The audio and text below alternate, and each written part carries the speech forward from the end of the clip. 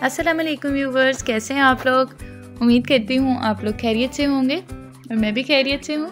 आप देख रहे हैं निमराज फ़ूड डिस्कवरीज़ मैं तो लेके आती हूँ हर रोज़ आपके लिए बहुत ही अमेजिंग रेसिपी और मेरी कोशिश होती है मैं आपके लिए बिल्कुल आसान रेसिपी लेके आऊँ, जिसे समझने में आपको ज़रा भी मुश्किल ना हो। तो आज की जो रेसिपी है वो भी कुछ इसी तरह से है। आज मैं आपको बनाना सिखाऊँगी बहुत ही यूनिक स्टाइल में चिकन ब्रेड की रेसिपी वो भी विदाउट ओवन हम इसे बनाएँगे। तो चलिए फिर देर किस बात की है? बिस्मिल्लाह पढ़ के चलते हैं। रेसिपी की तरफ़ रेसिपी को बनाना स्टार्ट करते हैं। तो इसके लिए सबसे पहले हमें डो को रेडी करना होगा और डो रेडी करने के लिए यहाँ पे मैंने एक कप गर्म दूध लिया दूध जब हम इस तरह की डो गूंद रहे होते हैं ना तो गर्म दूध लिया करें ताकि ना वो अच्छी तरह से फिर इसकी वजह से फूल जाती है। अब हम इसके अंदर ऐड करेंगे यीस्ट उसके बाद मैंने one tablespoon baking powder add किया बेकिंग सोडा हम थोड़ा सा ऐड करते होते हैं, यानी कि आप वन टीस्पून ऐड किया करें, अगर आपने baking powder one tablespoon add किया तो। अब हम इन चीज़ों को मिक्स कर देंगे। उसके बाद इसके अंदर एक अदद अंडा शामिल करेंगे। अंडे की वजह से जो हमारी डो होती है ना, वो बहुत ही ज़्यादा सॉफ्ट और मज़े की रेडी होती है। अगर आप चाहें तो अंडे को स्किप भी कर सकते हैं, लेकिन ऐड कर लेंगे तो ज़्यादा मज़ा आएगा। इसके अंदर अब हम ऐड कर देंगे मैदा। तो मैदे को यहाँ पे मैंने छान के यूज़ किया है। आप भी छान के यूज़ करिएगा। उसके बाद इसकी डो को हम थोड़ा सा फोम में ले आएँगे। जब इस तरह से डो हो जाएगी, तब इसके ऊपर ऐड कर देंगे थोड़ा सा ऑयल और फिर से अच्छी तरह से डो को गूंद लेंगे। जब तक बिल्कुल ये सॉफ्ट ना हो जाए फ्लफ़ी सी ना हो जाए, जिस तरह से आपको कैमरे में नज़र आ रही है, जैसे मैंने की है, बिल्कुल सेम उसी तरह से आपने भी गूंद लेनी है। उसके बाद आपने क्या करना है, इसके ऊपर ना वन टेबल स्पून ऑयल लगा के इसको रेस्ट दे देना ताकि जो हमारी डो है ना, अच्छी तरह से फूल जाए। तो चलिए अब हम फिलिंग रेडी करते हैं तो सबसे पहले पैन में ऐड कर लेंगे ऑयल और साथ ही अगर आप मेरे चैनल पर नए हैं तो चैनल को सब्सक्राइब करना तो बिल्कुल मत भूलिएगा. बेल आइकन भी दबा लीजिए. इससे आने वाली हर नई वीडियो का नोटिफिकेशन आपको पहले से मिल जाता है. तो यहाँ पे पहले हम वाइट सॉस रेडी करेंगे तो इसके लिए मैंने थोड़ा सा ऐड किया ऑयल अगर आप ऑयल नहीं ऐड करना चाहते तो आप बटर ऐड कर लीजिए, लेकिन थोड़ा सा ऐड करिएगा. उसके बाद इसके अंदर मैदा ऐड करेंगे. और जब हमने ऐड कर देना ना, दूध इसके अंदर तो फ्लेम को पहले मैंने बंद किया है. अब मैंने फ्लेम को ऑन कर दिया। अब देखिएगा कितनी जल्दी से हमारी ना वाइट सॉस के अंदर जो हमने चीज़ें डाली हैं, वो थिक होना स्टार्ट हो जाएँगी वाइट सॉस तो अब हम इसके अंदर कुछ स्पाइसेस ऐड कर रहे हैं। जितने भी आपके पास मसाले हैं ना, लेकिन परफेक्ट क्वांटिटी में ऐड करिएगा। ये नहीं हो कि आप ज़्यादा ज़्यादा ऐड कर दें। आपको पता होना चाहिए कि आप कितना खाते हैं, कितना आप स्पाइसी खा सकते हैं। उसी हिसाब से ऐड करिएगा, लेकिन मैंने बिल्कुल परफेक्ट ऐड किए हैं। तो यहाँ पे मैंने पेपरिका पाउडर लहसुन पाउडर नमक, काली मिर्च, गरम मसाला पाउडर और ये ओरिगानो पाउडर था वो ऐड किया। थोड़ी सी चोट की हुई कैप्सिकम इसके अंदर ऐड कर देंगे। ये आप स्किप भी कर सकते हैं, लेकिन ऐड कर देंगे तो ज़्यादा मज़ा आएगा। तो अब हम क्या करेंगे, हमारी जो ये फिलिंग है ना, बहुत ही क्रीमी सी हो गई है। मज़ीद क्रीमी बनाने के लिए इसके ऊपर मैंने थोड़ी सी टमाटो कैचिप ऐड की है, जिसका टेस्ट भी बहुत ही ज़बरदस्त होता है। तो देखिए, हमारी ज़बरदस्त सी क्रीमी सी फिलिंग रेडी हो चुकी है।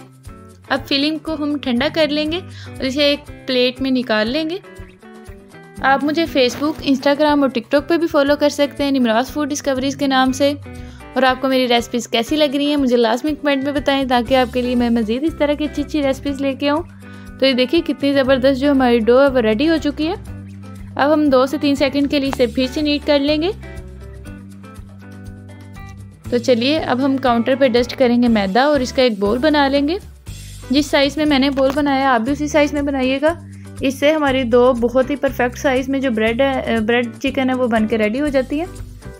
तो अब पहले हम इसके ऊपर डस्ट करेंगे मैदा ताकि इन काउंटर के साथ चिपक ना जाए।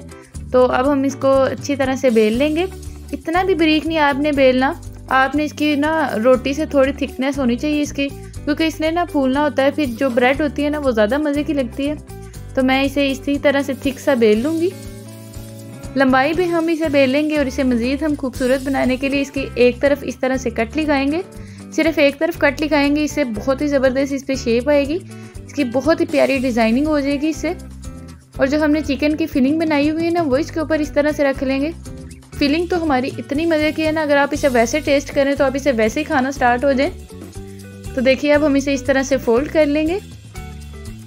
तो कितनी ज़बरदस्त ये अभी से देखने में हमें लग रही है ना देखा, इसी तरह से अब हम इसे ऊपर रखते जाएँगे। चिकन ब्रेड जो होती है ना, वो बहुत ही अलग अलग डिज़ाइनिंग में बनाई जाती है, लेकिन जो इसकी फिलिंग होती है, वो तो सेम ही होती है। तो अगर आप इसकी फिलिंग को मज़ीद मज़े का बनाना चाहते हैं तो इसके अंदर चीज़ भी ऐड कर सकते हैं। तो देखिए, मैंने इसके एक तरफ़ से जो कट लगाए थे, वो कितने ज़्यादा प्यारे लग रहे हैं। अब इसके ऊपर ना हमने लगा देना है एग जोग अगर आपको उसकी स्मेल अच्छी नहीं लगती, वैसे तो बेक होने के बाद आती नहीं है। लेकिन अगर आप फिर भी कहते हैं भी नहीं लगाना चाहते तो आप इसके ऊपर येलो फ़ूड कलर ऐड कर सकते हैं, जो कि मैंने ऐड किया है। उसके बाद इसे मज़ीद हम खूबसूरत बनाने के लिए मैंने टमाटर के इस तरह से स्लाइस कट कर लिए कट कर लिए बिल्कुल बारीक से।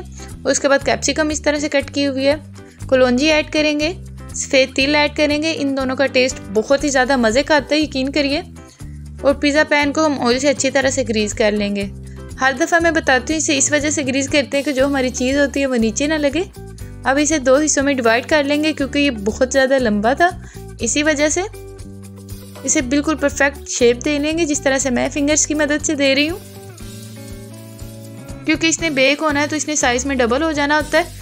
तो अब हम इसे पतीले में बेक करेंगे तो इसे हम तकरीबन 25 से 30 मिनट के लिए कवर करके रख देंगे मीडियम फ्लेम पे। तो यहाँ पे तकरीबन 30 मिनट हो चुके हैं तो चलिए ढक्कन उठा के चेक करते हैं। और देखिए, माशाल्लाह कितने ज़बरदस्त सी हमारी जो चिकन ब्रेड है वो रेडी हो चुकी है। ये अगर हमने इसमें भी चीज़ नहीं ना ऐड की, लेकिन इसकी ब्रेड इतनी सॉफ्ट है, जैसे कोई चीज़ हमने इसके अंदर ऐड की हो। तो ये इतनी मज़े के बन के रेडी हुए थे ना, इतने मज़े के बन के रेडी हुए थे कि अगर आप इसे एक बार बनाएँगे तो आप बार बार बनाएँगे। तो जब भी बनाएँगे, मुझे लाजमी बताइएगा कि आपको मेरी रेसिपी कैसी लगी। तो चलिए, अब मैं आपको इसे कट करके भी दिखाऊँगी कि अंदर से कितनी ज़्यादा जो हमने इसके अंदर फिलिंग ऐड की है, वो मज़े की है। और इतनी सॉफ्ट ब्रेड रेडी हुई है ना, अगर आपने डो को अच्छी तरह से गूंदा है तो आपकी ब्रेड इसी तरह से रेडी होगी। तो देखा व्यूवर्स आपने हमारी कितनी ज़बरदस्त चिकन ब्रेड रेडी हो चुकी है। आप भी इसी तरह से बनाएँ और लास्ट में मुझे कमेंट में बताएँ आपको रेसिपी कैसी लगी। अच्छी लगी हो तो लाइक शेयर कमेंट करना तो बिल्कुल मत भूलिएगा। अपना रखिए बहुत सारा ख्याल, अल्लाह हाफिज़।